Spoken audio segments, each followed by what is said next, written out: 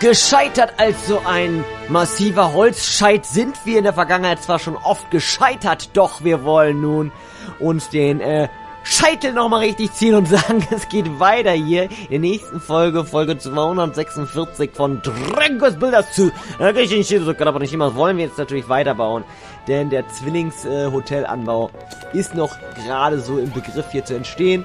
Äh, wir werden hier mal noch ein paar Handgriffe machen, aber auch woanders nochmal gucken, denn wir wollen ja auch irgendwie hier und dort mal weiterkommen, ne? Und äh, dementsprechend sage ich einfach mal, ja, willkommen, weiter geht's hier auf Tomorrowland.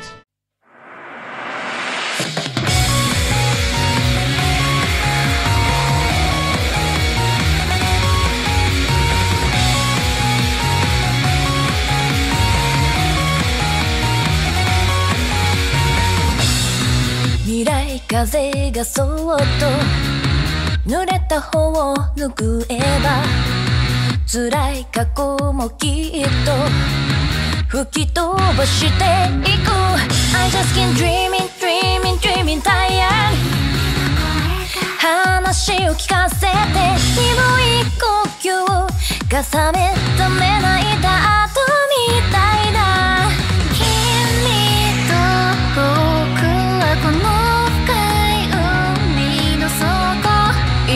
いいに生放みたいさまるで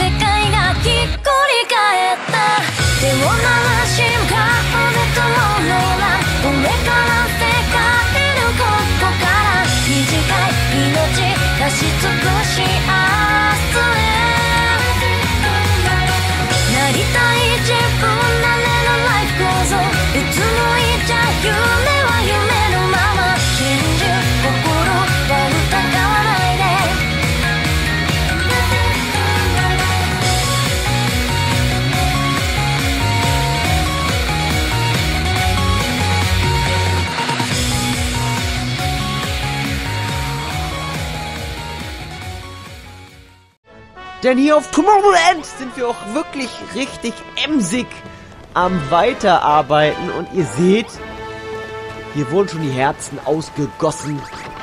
Und die Leute haben hier weiter gepflügt. Für uns ein Signal, wir wollen hier weitermachen.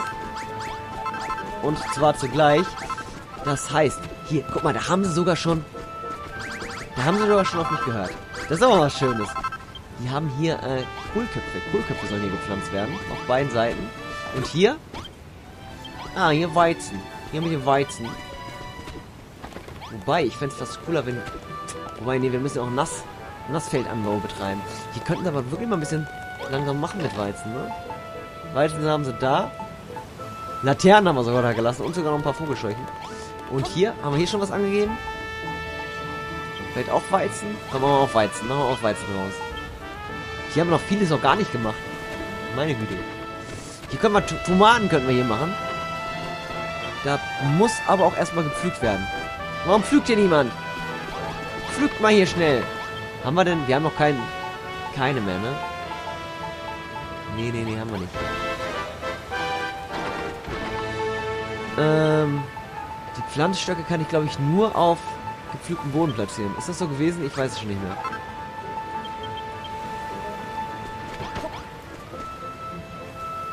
Ist auf jeden Fall mal im Wasser gewesen.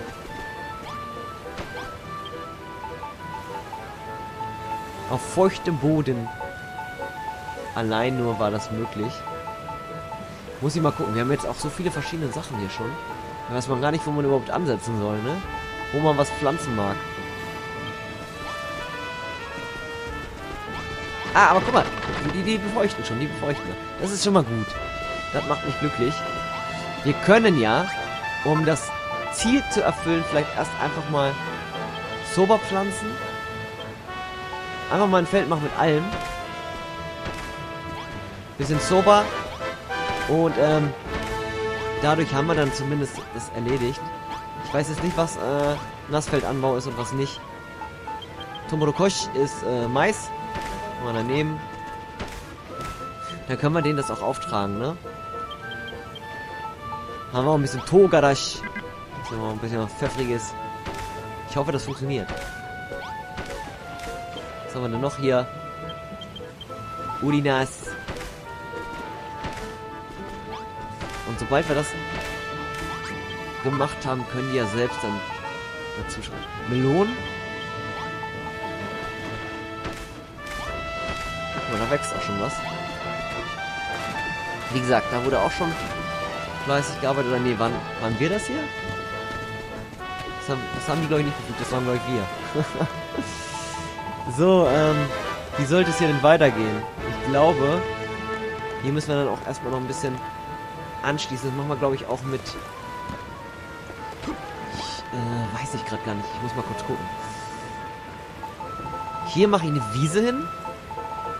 Denn da habe ich auch einen kleinen Plan gehegt. Das mache ich jetzt, bevor ich das vergesse. Deshalb schichte ich jetzt mal ein bisschen Wiese hin. Dann können wir hier den Anschluss auch noch machen. Und ihr seht, ich baue mal hier, ich baue mal da. Überall wird nur was gemacht. Hier könnte man auch so schön noch ein weiteres Feld machen, aber ich glaube, wir haben dann genug und sollten dann mal gucken, dass wir hier noch ein bisschen was anderes machen.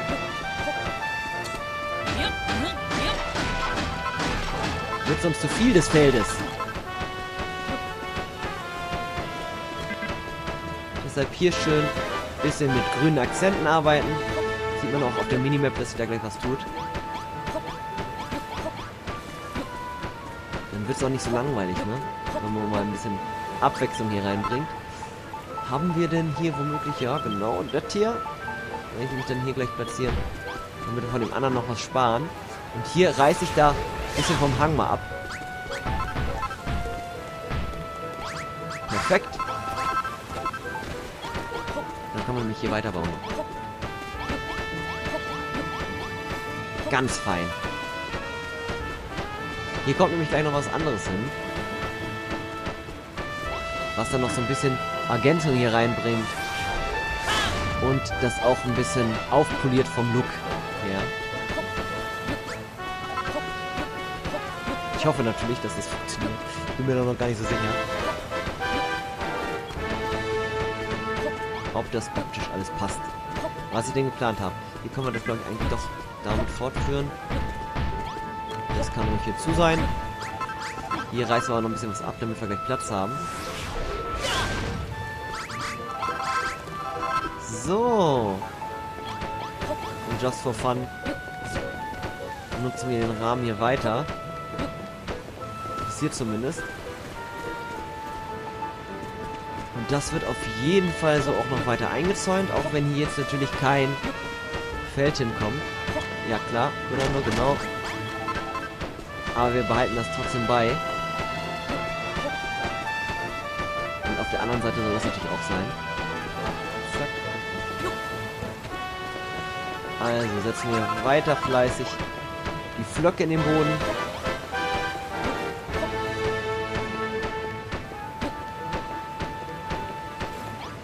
Und das machen wir hier auch. Dann müssen hier natürlich die Türchen hin.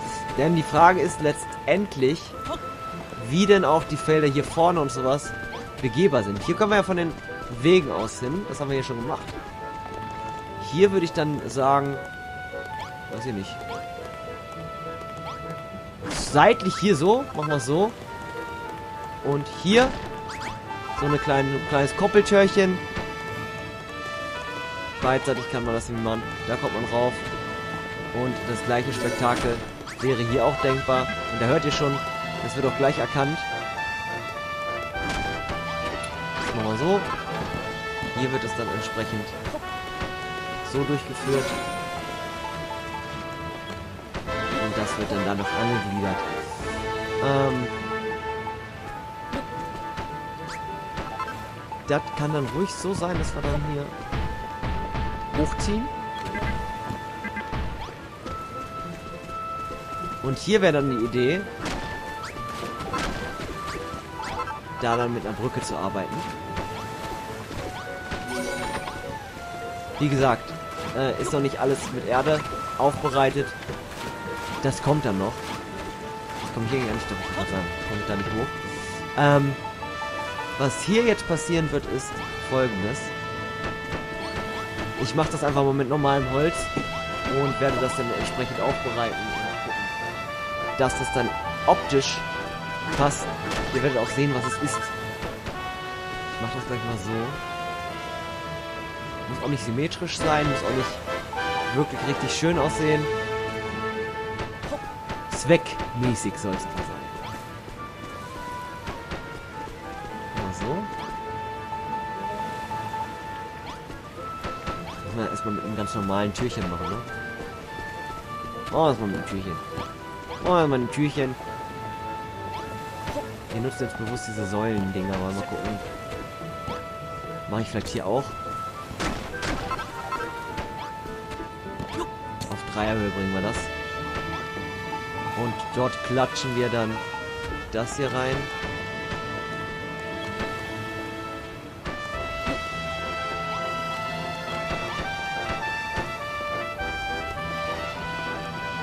Und hier ist tatsächlich das Problem. Zu viel Block. Zu viel des Blockes.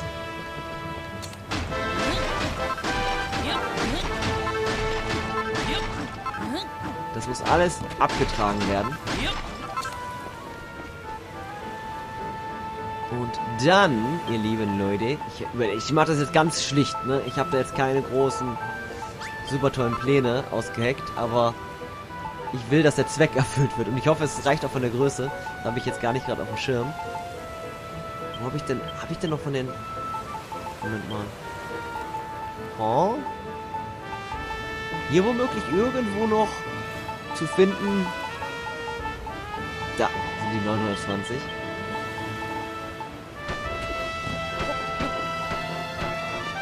Lege ich da mal so rum kurz. Wie so ein Gürtel. Da schließt er mich an der Wand an.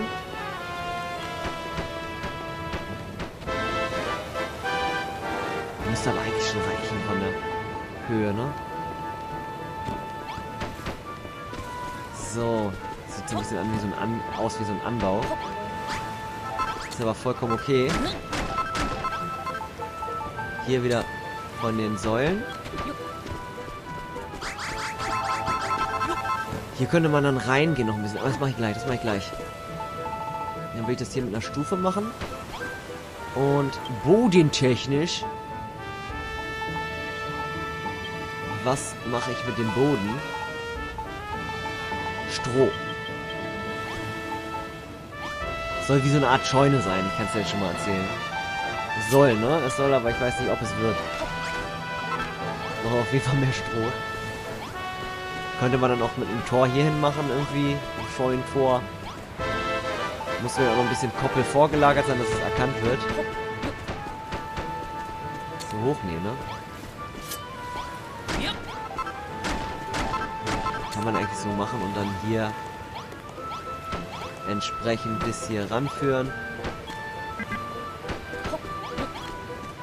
Türchen hier. Schick, oder? So, erkennt er das dann gleich als Gebäude? Ich hoffe doch schon. Es braucht natürlich dann noch ein bisschen feinschliffsmäßig was. Die Tür muss auf jeden Fall rein. Ich nutze auch mal diese asiatische Tür. Einfach weil wir sie noch haben. Die Wand reicht, glaube ich, noch nicht, aber das kann man gleich noch ändern. Ähm, müssen wir überlegen, was wir da alles drinnen brauchen. Auf jeden Fall einen Topf. Ich hoffe, es ist egal, welche Art von Topf. Der Timber ist mal da. Dann landwirtschaftliche Elemente irgendwie, ne? Ich glaube, wir haben noch so Stroh, so Strohhaufen. Landwirtschaftswerkzeuge äh, und so ganze Kram. Das müssen wir alles mal holen kurz. Ich weiß jetzt nicht, ob ich es im Inventar habe, aber... Shido, ich würde gerne, sehr gerne hier einfach mal durch. Wir gehen mal den Weg jetzt durchs Wasser. Ach, guck mal, hier wächst doch schon was. Müssen wir doch eigentlich unser Ziel schon erreicht haben.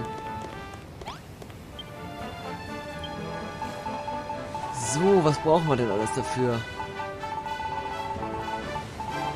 Ich bin mir nicht so 100% sicher. Da könnte man auch sowas nehmen hier. Schalten wir mal frei. Die kennen wir noch zu gut aus dem ersten Teil. Auch nicht schlecht, ne? Bisschen schlichter, bisschen primitiver. Fenster wären auch denkbar. Bauen wir ein paar. Ach, guck mal, Dalton ist da. Chaco auch. Wird jetzt hier etwa auch gearbeitet? Das wäre natürlich schön. Hier, sowas brauchen wir. Da können wir gleich mal ein paar mehr machen. Können wir ja fleißig schaffen, wie wir wollen. Oh, und da wird jetzt auch schon angebaut. Das ist ja sehr, sehr erfreulich. Ähm, was brauchen wir denn noch? Glaube, ein Sack muss da hängen, oder? Ich brauche noch ein paar Säcke. Auf jeden Fall dekotechnisch diese landwirtschaftlichen Geräte. Ist das bei der Vogelscheuche, bei dem Landwirt Landwirtschaftskram irgendwie? Wo war das? Hier irgendwo, ne? Hier, war das hier nicht? Dünger, Kügelchen.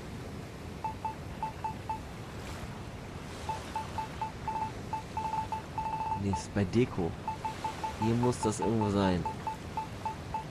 Mein Blick findet natürlich mal wieder nix. Irgendwas, was hier die Lande schmückt. Da. Alles für den Bedarf. Hier noch ein bisschen. Ach, können wir auch noch mal reinhauen. Ich hoffe, das war's dann, ne? So, jetzt können wir aufbauen, aber ich frage mich gerade, können wir das... Ah, ne, da fehlt uns noch ein wenig Reis. Ein paar Reispflanzen fehlen uns da noch. Kriegen wir auch noch hin. Hier können wir jetzt mal ganz kurz, bevor ich das auch wieder vergesse, dann kann man nämlich schneller weitergehen. Die mal hinmachen. Passt doch ganz gut, ne? Das war jetzt nicht gewollt, aber sei es drum. Das brauche ich noch. Vielleicht ein paar Dachelemente noch aufpappen.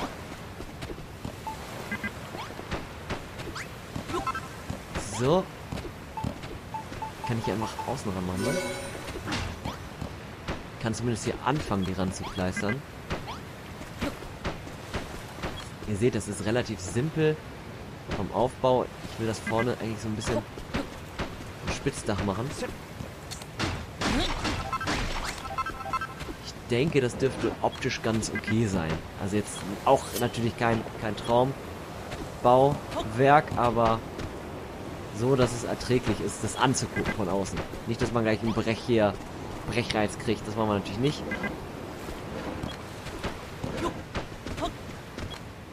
Ja, schön wird es nicht, ganz klar.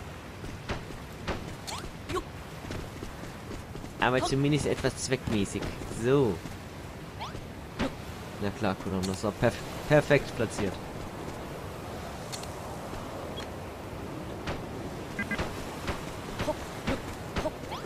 Und so geht es hinauf hier. Dann kriege ich tatsächlich auch mein Spitzdach zustande. So wie ich es mir gewünscht habe. Ein bisschen, ist natürlich sehr Klischee. Sehr Klischee, aber damit leben wir. Das war ein bisschen zu viel abgetragen. Das machen wir wahrscheinlich von der anderen Seite besser gleich.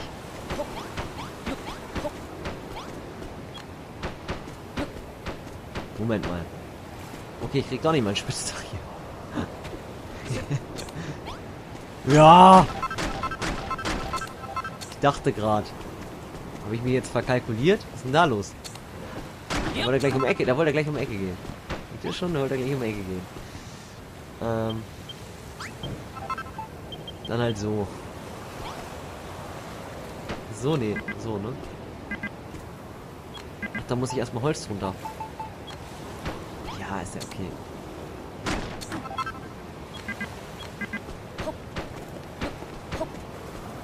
Dann mache ich da ein bisschen Holz drunter. Das reiße ich nochmal kurz ab, damit es aus dem Weg ist. Und dann, liebe Leute, machen wir es halt so. Auch kein Abriss.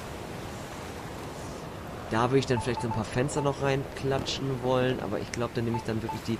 Machen wir gleich dann. Kleiner leerer Raum. Mehr ist das nicht hier. Ich würde am liebsten jetzt die Tür hier noch hinmachen, aber es passt irgendwie nicht, ne? Vielleicht bauen wir die nach da denn, wenn wir da noch was reinhauen. Wo sind denn diese Strohhaufen? Da. Ich hoffe, das ist dann alles, wir brauchen. Ich bin mir gar nicht so sicher. Das hier brauchen, ne? Können wir hier auch noch ein paar ranstellen. Können wir noch Strohhaufen hinmachen. Das ist alles, was wir brauchen für eine Farm. Für ein Farmgelände. Ich hatte, ich hatte mir das doch extra angeguckt gehabt. Ich glaube, ich habe irgendwas, irgendwas wichtig, essentielles vergessen. Ich glaube, es fehlen noch ähm, Seile, ne? Und Holz. Seile und Holzscheide. Seile und Holzscheide haben wir noch eins hier noch. Und so ein Sack, so ein Sack können wir noch machen. Da muss einen Sack hinmachen. Ach, Säcke haben wir ja wirklich extra noch produziert gehabt. So. Ein bisschen viel alles, ne? Instrumente haben wir ein bisschen viel. Holzscheit, Seile. Ist das nicht schon schön? Was fehlt dir denn noch, Spiel? Die Wand hier, ne? Fehlt dir die Wand hier noch? Kriegst du die Wand noch?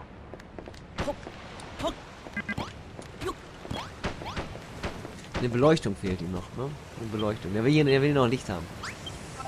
Kriegt er auch noch hier so eine schäbige, so ein schäbiges Lämpchen. Zwei sogar direkt in dem Strohdingens hier.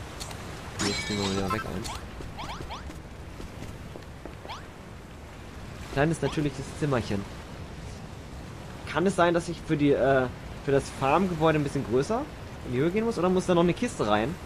Eine Kiste muss da noch rein. Eine Kiste muss also auch noch rein. Haben wir denn noch eine Kiste? Wir haben eine Riesenkiste.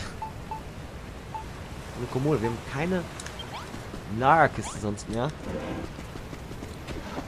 So dramatisch. Aber dann gehen wir mal ganz kurz hier den Weg nochmal entlang. Hier ist ja wirklich glücklicherweise schon langsam ein bisschen Leben, das hier einkehrt. Die Leute arbeiten. Und hier hatten wir gleich eine Kiste noch drin, ne? Sogar 15. Na, sieh mal eine an. Dann wollen wir noch eine Kiste platzieren. Die findet dann hier seinen Platz. Und dann haben wir ein kleines Bauernlager und somit ein weiteres Zimmerrezept fertiggestellt. Hier wird dann noch weiter errichtet. Das kleine Kätzchen, das freut sich darüber. Und da könnte ich vielleicht, wenn wir denn das hier machen, sieht ein bisschen doof aus, ne? Vor allem so sieht das noch, noch döver aus.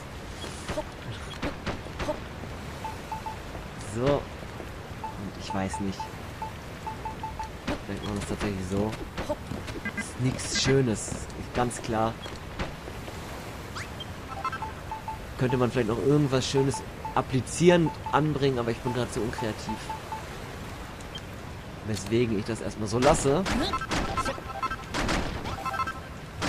Da könnte man vielleicht auch noch so ein Vordach irgendwie rankleistern, ranschustern, ranbauen. Das wirkt dann alles immer so ein bisschen größer noch. So. Halt. Warum macht das nicht?